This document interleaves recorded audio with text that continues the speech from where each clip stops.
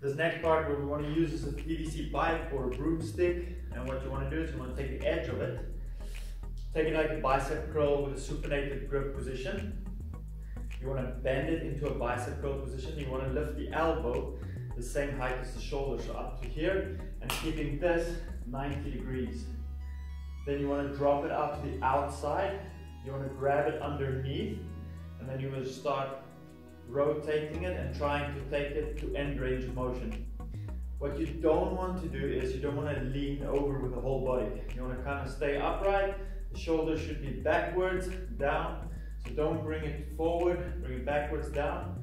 And what you can do is with slight pushing, you can imagine you're pushing in this direction, but you're keeping it isometrically. So push slightly, one, two, three, four, five, six, seven, and relax the arm, but don't let it move back to where uh, it came from.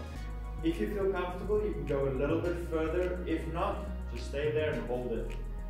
Go another round, just push, one, two, three, four, five, six, seven, then relax with a push. Remember, don't go back, don't change the posture, just stay there.